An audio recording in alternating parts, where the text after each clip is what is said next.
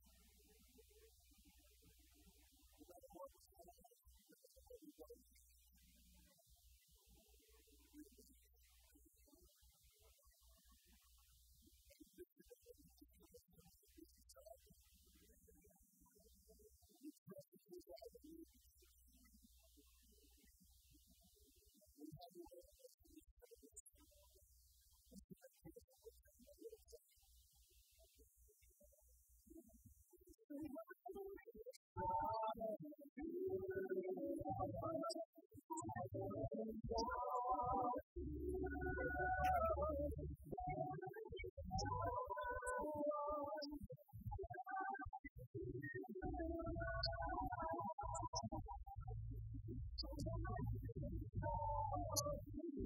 سرڪار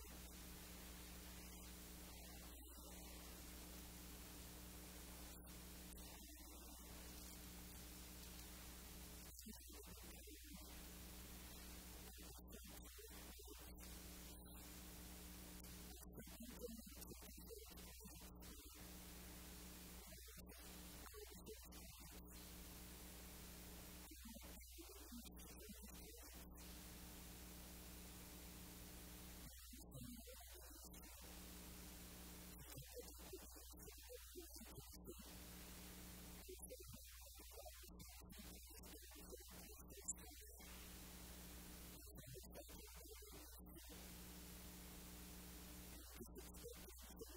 you.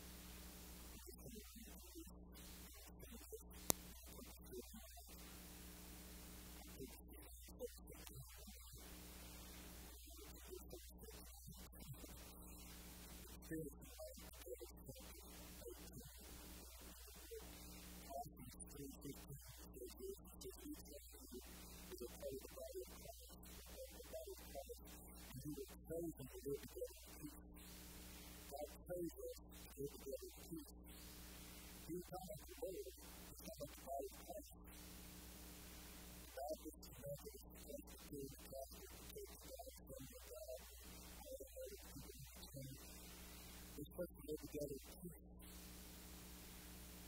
I see it, I believe feel like all your black bodies and brothers dropping in the desert, and you can always come over to them. You say the woman, the woman, the temptation, the mission, it's just, it's for all the time.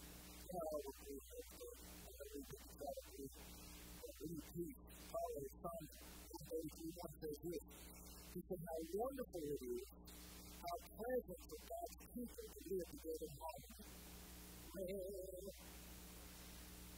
didn't say how wonderful and it is for the world to live in harmony, because everyone has it. That's the devil is the world. He said when, they start yelling, peace, peace, tell me something, it's the very one. When you start hearing yelling, peace, peace, you know, that's when you, you don't because it's going to get better, because it ain't going to get better. You know, I was thinking about this tonight, it just hit me. On the day of Pentecost, it says there was a 120 in the upper room. And it says there was all in one accord. And it says the Spirit of God fell on the day of Pentecost and filled them with the power of God, spoken tongues from the heaven. And that's a powerful miracle. But you know what the greatest miracle I think was that day? That there was 120 in one accord. I, I just thought about that tonight. I mean, the, the baptism of the Holy Spirit followed on, and all that stuff was awesome, giving them the power to witness, to do great things for God. But the greatest thing was there was 120 people in one court, and I believe we probably got pretty close to that. I think that's how the church is God And this is talking about small groups. And y'all know sometimes Wednesday nights is awesome. I love Sundays, but I love Wednesday nights. Wednesday nights is my favorite. I tell everybody that goes on Sundays. But I love when you man. that this is good. This is good. That's really good. You know, God wants us to experience life together.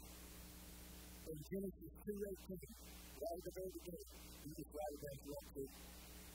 He looked at he looked at Adam and said, It's not good that man should live by himself. So he created Eve. And I believe the same thing is for today. It's not good for us to be by ourselves. I know we all like some alone time is not just a story about the It's the awesome to have friends. Oh, you have friends that you can talk to and share things with. They, they love you, you love them, and you share your deepest, most intimate things. Fellowship is called a thing. Today, fellowship means casual conversation, socializing, having fun, standing up at church, and eating the bread, eating the bread, eating the bread, eating the bread. Is that number one? That? Yeah, yeah, yeah, yeah, yeah, Okay, we did. We had we had what we call afterward at the church of afterward. About stuff and a lot of times people will ask you where you go to church. Sometimes they'll say, where do you fellowship? And what they mean is, where do you go to church? But the word fellowship in the Word of God really didn't mean that stuff. I mean, it meant they can go together and stuff. But I want to tell you some other things. Real fellowship is experiencing life together. When you truly get down and you know somebody, you talk to somebody, you find out what they like, what they don't like, like being great. We've been married for 30 years, hallelujah. I made it 30 years. no, but, but you learn, you learn things about each other. Okay? And we have to like something that grows tomato mayonnaise. Grows tomato mayonnaise. Tomato, you know like that? That's not. Onion. There's there's mayonnaise and onion. Is that right? Okay. Hallelujah. I know her favorite color is green. Even though her face is red right now, her favorite color is green. But we know each other. I mean, you know, we know each other, we love each other, we fellowship with each other, we have fun with each other. And, you know, we go out to eat, we hang out together, she goes to hospital with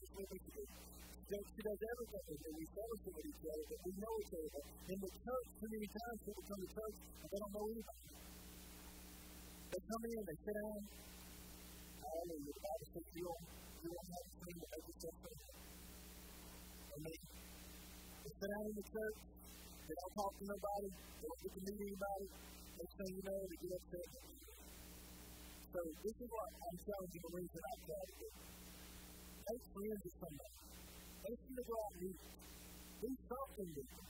Try to get them connected. We've got to get connected. If we don't get connected, we can't have true fellowship. This is fellowship is getting to know each other. It includes unselfish loving, honest sharing, serving each other, giving and comforting one another. They're all commanded for us to do. God commanded us to do these things. This is fellowshipping with our brothers and sisters in Christ and getting to know them, and so we can know more about them. In small groups. Now, we don't have small groups in the church. We have Sunday school. We, we got some other things we'll talk about in just a minute. But we don't have small groups on Sunday night. I'm not saying we don't ever start that, but boy, that's a big thing. We have a lot of people that teach. We got other people that we have to with. So, but there are some great things about smaller units, just like the Internet. We get more intimate the Internet. But we got a Sunday class, and we got Bible studies, and we got different things that we have that we, we get together. We go out eat together and do things like that. But if you think that your if you think of your church as like a big ship, think of small groups or, or intimate settings of That's what faith is. Is is. A lot of people come out to what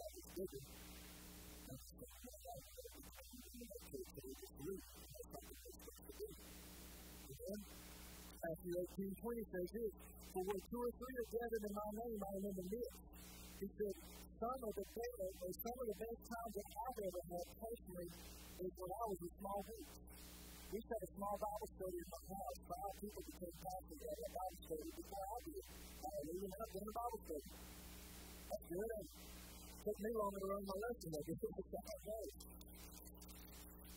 my issue is ultimately is to have the right people and get the right connection. You know, what I mean is that that's the right things. So, so we get to know each other better. Uh, I wrote this down. When you begin a fellowship with others, you really get to know them. You hear the testimonies, He just get to be real redemption already. you sought to know the person's heart and the desires. You filled your heart with hope, the fear, the confession, the weaknesses, and failures, the doubts, the fears, and the prayer But all these things are small groups. That's why I love to go to the beach with you. When we go to the beach with the men we get to know each other.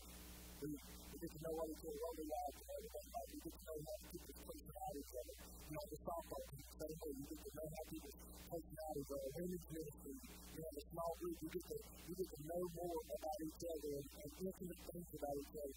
And so that's why I like small groups like that. When we go to Haiti and mission trip, I get to know people that I would never got to know them the day I get to know them. Some of them I might not want to get to know them too. And people are connected to But Because the first you get to know people like you haven't had a relationship situation like this. But you don't find a lot of churches that are like this. You don't find a lot of churches that are weird. You really don't. You don't find a lot of churches that, that, that straight up. You find a lot of churches that got politics going on. You got families running the church. You know, you got people that, that, uh, that they, they superficial, you know, say, hey, do you want to investigate this? That's you, you do this, but they just, I'm just being honest with you, I don't want us to be a I want us to be a church that really, truly loves each other, and we support each other, that loves each other, that loves each other. First John 1, 7 and 8 says this, If we live in the light, as God is in the light, then so is the Lord in heaven. And the blood of Jesus Christ cleanses us from all unrighteousness. Fellowship with another. We have fellowship with, with Jesus. Jesus wants to have fellowship with Him. What does that mean? He wants us to tell Him our deepest desires, our deepest hopes, wants, whatever it is. He wants to know about it. Sure, He knows everything. But He wants us to voice it. He wants us to show Him that we trust Him and have to tell Him all our concerns. That's what fellowship is in the body of Christ. When we got friends that we can call at any moment to look, I'm going to do this, and you for me, you help me, you do this, you do that. But I need you. James 5 16. It says, Make this your common practice. Confess your sins to each other and pray for each other so that you may live together in whole or be healed. And then it says, goes on and says in King James, the perfect prayer of the righteous man availeth much.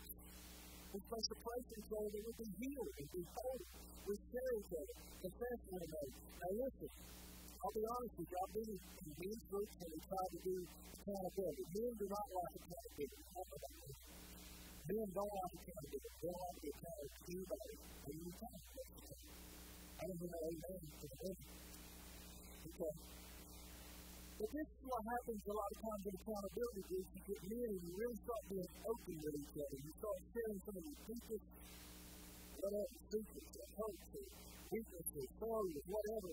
And then somebody in the group runs out. And then it gets back.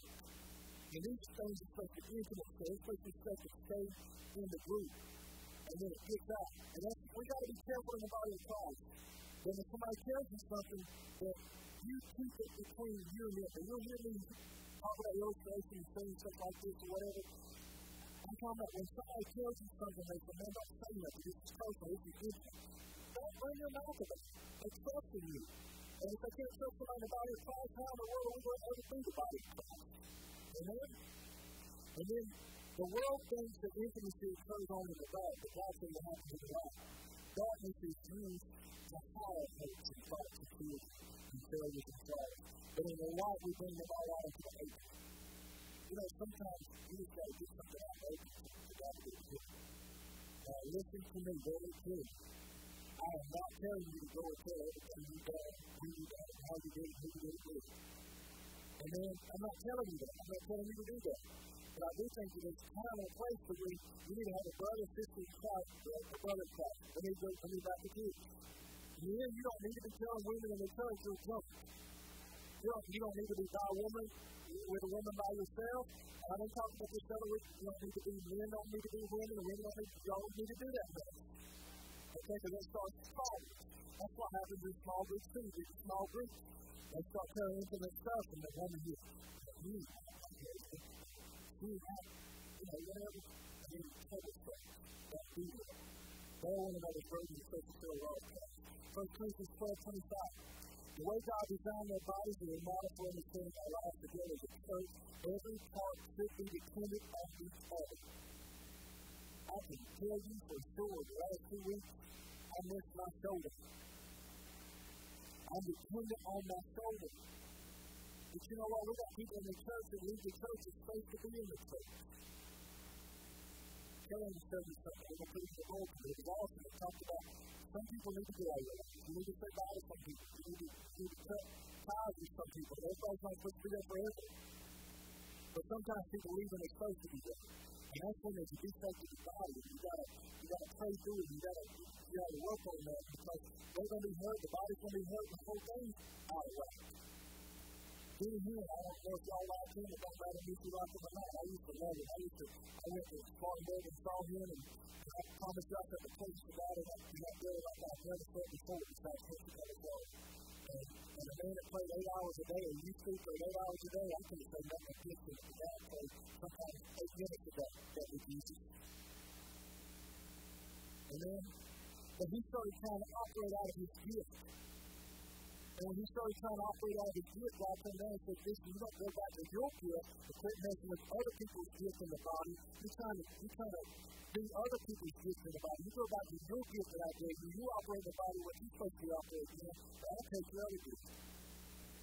Everybody has a gift. Everybody is special and unique. Everybody needs to be operating in the gift in the body of Christ. Romans 1 12. Paul said this, he said, I want us to help each other with the faith we have. Your faith will help me, and my faith will help you. We're strengthening one another. I used to tell the guys at work, uh, that's the concept. I'm glad we all get to bad times at the same time. I mean, good gracious. One day somebody be all in the brother good and you to help them, talk to them or whatever. We all come in, why we all come to church Sunday with all the good? And we all had an argument at or whatever.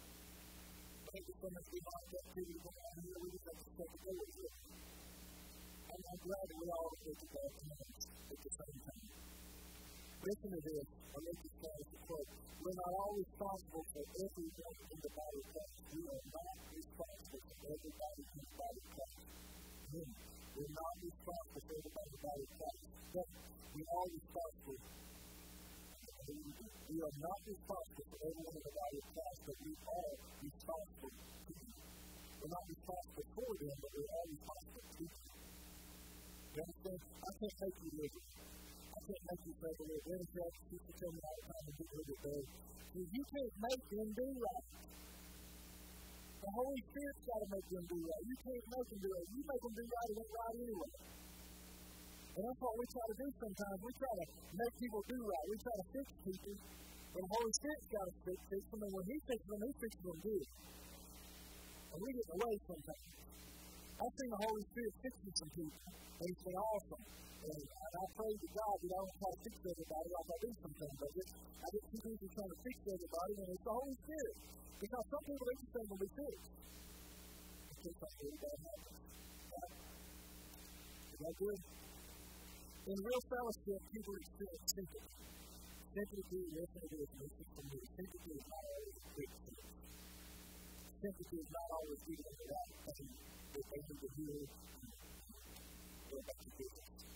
Sympathy is true heartfelt care When's the last time? One of our raised hands said, when is the last time you really got in into with somebody and you hurt with them, you grieved with them, and you laughed and you loved and you got in, involved in their life and you tried to really minister to somebody? When's the last time you? That's what we're supposed to be doing as the body is ministering to each other. There's people in this room, I'm not talking about in the world, there's people in this room right now who's ministering to. You're right behind. God. You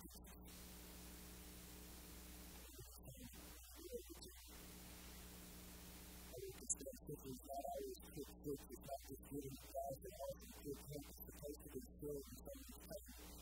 Trying to understand what somebody's going through. This is something that you don't have to know what they're going through. You don't have to understand what they're going through. Don't go up and somebody passed away. If, if they lost a husband or wife and you have been there, don't go up and say, well, how you feel. You don't know how they feel. You don't have to know how they feel. You start say, man, I love you and I'm paying for you. I'm really grateful. That's, that's, that's what like I'm just I don't know what to say. I say. If I had been through it, I don't know what say. And even if I had been through it, I don't know how they're going to handle it. You just tell them, look, I love you and I'm going to pray for you. I want to be here for you. If you need me and really need it, call me. Don't give me the wrong phone number and call them and try to the phone number. Amen? I don't know what to 3 12 says, As holy people, be sympathetic, kind, humble, gentle, and patient with each other it's holy people. We're not supposed to be holy. Not holy God, but we're supposed to be holy. We're supposed to be godly people, righteous people. We're supposed to be living in sin. We shouldn't have sin living in our lives. Second Peter, I read it the other day. I was sitting in my office at the prison, in the chaplain's office. I started reading Second Peter. Y'all need to read this sometime. Second Peter chapter 2. And it goes down to verse like 19 and 20. It talks about how people had once come to the light. They, you know, they knew the Lord, but then they backslid and went back out into the world. It says their first state is worse now, or their state now is worse than it was before they even knew. And he said, how can you fall back into that? You're not supposed to fall back into sin. You're supposed to overcome sin. There's different levels of fellowship. Fellowship is sharing, sharing with each other, being friends, talking to each other, being concerned about each other studying, studying the Word of God, learning scriptures back there. That's why I to talk Jerry. I, I I had a vision this morning. I asked him a question. He said, I to study. I said, I thought you didn't. It's good to have people you can study with, serving each other. What's last time you somebody? That's right. The last time you somebody? Or done something for somebody?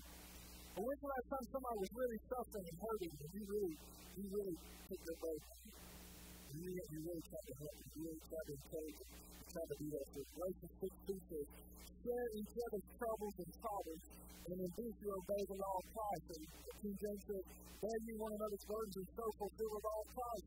It's Christ's law that we help each other. Or nine unusual or I as a so-called church.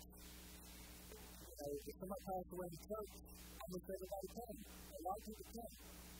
Yeah, if you're on the day, you might have 10 people. Not exactly, you might have 30 people. A lot of people won't have nobody. I know sometimes people do the crazy time during the day. I always say that people do it when people come. But I'm just saying, it's not like it used to be. Y'all know what I'm talking about. You see when somebody died, everybody went to go to the church. When the body of Christ is torn to do that. Amen. And I know we think that everybody's doing but try to do you. God commands us to do this. In time of crisis, grief, hurt, we need, a, we need each other. That's when we need each other the most, and it the most. Amen? In real fellowship, we experience mercy. When you need mercy, good mercy.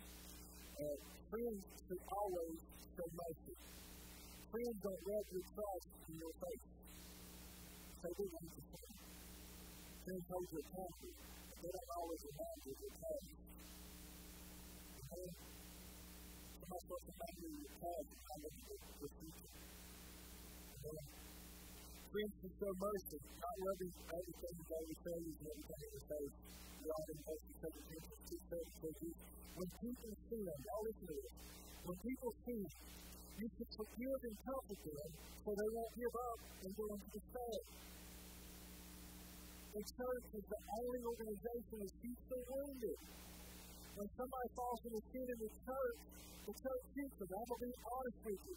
There's people that I've asked to leave this church, but they wouldn't come to counsel. They didn't want help. They want to stay in the sinking sin. They want to keep doing what they're doing. So I told them to leave. Hallelujah.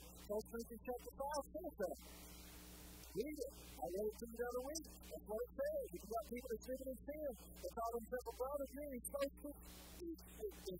Hallelujah. Uh, I say, well, put that religious practice I said, today's God is God. Job 6 14. This is a great bit of his very much he had the devotion of his team, even though his mistakes were the good. He was saying, the devoted to him, he said to himself, he was in the right way. And he also understood what the faith was. The things they voted, because you can't have true fellowship without forgiveness. Pastor 313, never hate judges. Kills you. The witness. The spirit of God grudges. Remember this. Luke 17.1 says, that it is impossible that offenses will come. You're going to get offended. I'm going to offend you. Somebody's going to offend you. Your friend's going to offend you. Your wife, your husband, somebody's going to offend you and make you mad. Don't hold that offense. Forgive, believe it quickly, because offense turns into hatred. I told you this before, and hatred turns into what? Murder. And murder will see you, see? You say, that's, that's, I'm just good. I'm not good, but I'm not good. Say that? I'm not good.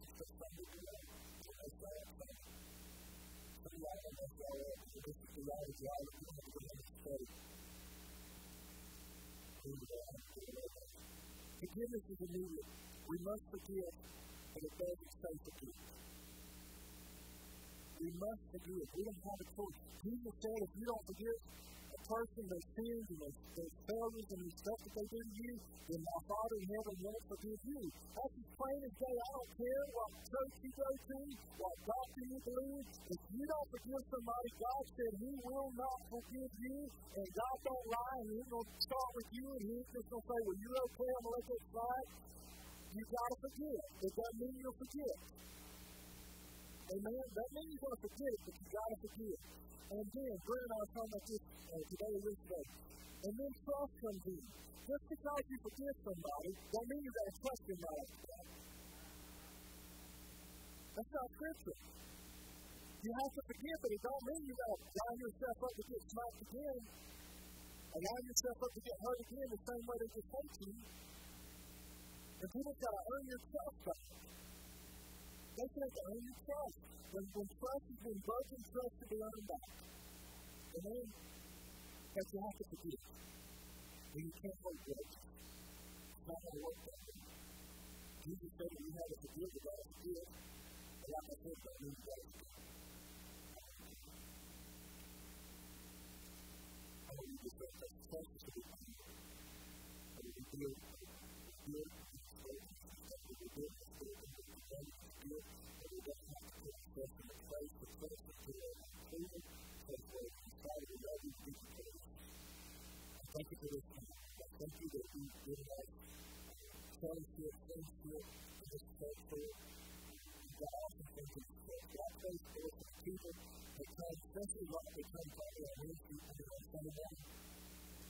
But the connected. If it's not connected in the church, they are connected in your body.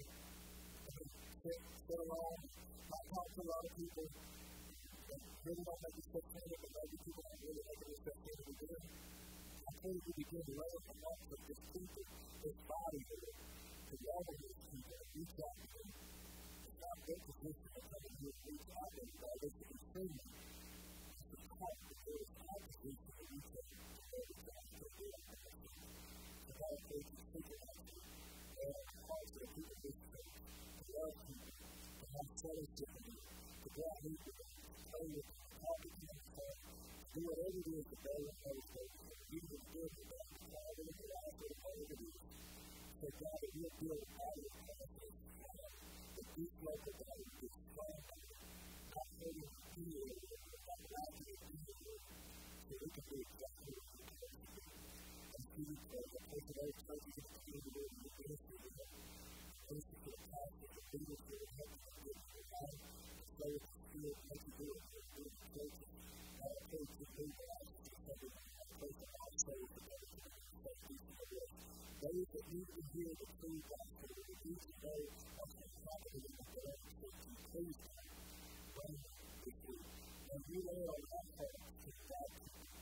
posture to go to the industry. Don't let